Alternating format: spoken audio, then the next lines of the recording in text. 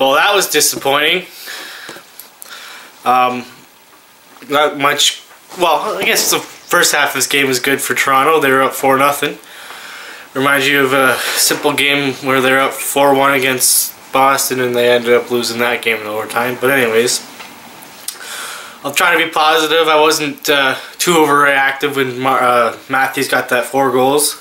So I'm not going to be trying to be too overreactive about this game. So Carrick with his first of the season followed up a nice rebound, but pretty much an open net goal for him. Smart play by him. Next, uh, scores with a nice shot from the low slot.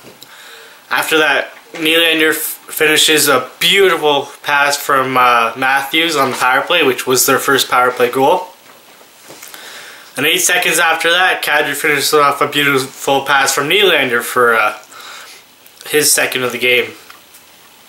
So Nylander is looking pretty good this year. He's got one goal, three assists, I believe. Um, Matthews is gonna. He looks pretty good with Matthews. They got pretty good chemistry. They almost got a goal in overtime. He sent Matthews on a breakaway, then he made the saves, and we all know what happened next. But uh, so yeah, he looks like he's gonna be a pretty good player, especially playing with Matthews. And as for Andersen, um, you can say, yeah, he let another uh, five goals in, but most of them weren't his fault. He looked actually pretty good in the first, uh, guaranteed the first half. They're up 4 nothing, and uh, Winnipeg had seven shots to Toronto's zero shots. So uh, he played pretty well. The first goal he had no chance on. Second goal, Laine, wicked wrist shot off the bar and in. He really didn't have a chance. Same thing with Scheifele. Uh, a block shot bounces right to Scheifele, puts it top corner. The fourth goal, Andersen was a little bit aggressive, but uh, nice one-timer goal by Laine.